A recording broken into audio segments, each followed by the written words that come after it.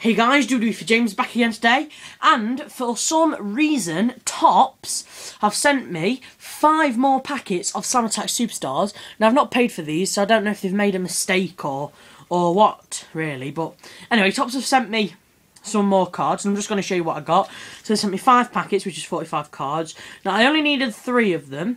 So we, what we're going to do is we're just going to place them down to one side while I show you all of the ones that I've got um, already. So I've already got all of these, but it's really nice. We've got Survivor Series, Hell in a Cell, SummerSlam. Remember, I've got all these. These I don't need. Elimination Chamber, Royal Rumble, Strap Match, Ladder Match, Falls Count Anywhere, Microphone, Kendo Stick, Ring Bell, Table, Team Hell No, Team Rhodes Scholars, Primo and Epico, Hunico and Macho, Eric Rowan Luke Harper, Brothers of Destruction, Charlotte, Alexander Rusev, Zeb Colter, Paul Heyman, The Iron Sheik, Honky Tonk Man, William Regal, Undertaker, Triple H, Tensai, JTG, Heath Slater, Dolph Ziggler, Dean Ambrose, Kurt Hawkins, CM Punk, Bray Wyatt, Alex Riley, Tag Ships, Ryback Shell Shot, Great Khali, Vice Grip, Choke Slam Kane, Chris Jericho, Walls of Jericho, and Alberto Del Rio, champion.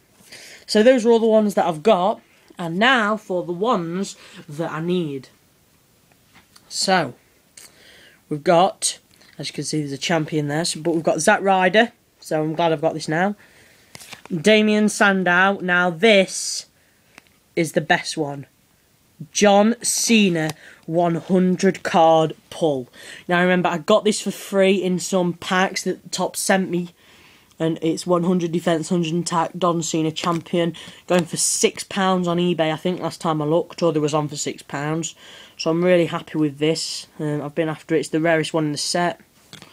So yeah, um, so the three I need is John Cena champion, Damien Sandow and Zack Ryder. And they're all my swaps. So a lot of swaps, but I only needed nine cards, so I'm glad that I got three that I needed. So I now need one more base card to complete the set, which is Tons of Funk.